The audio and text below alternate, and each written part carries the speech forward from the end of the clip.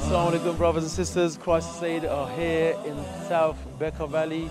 We're here to do a distribution at one of the camps. Alhamdulillah, we're not so far away from the Syrian border and so Alhamdulillah, Allah has given us the opportunity. Today we're in the Bekaa Valley camp. We're distributing food parcels, oil, blankets, flour, cooking oil and heating oil.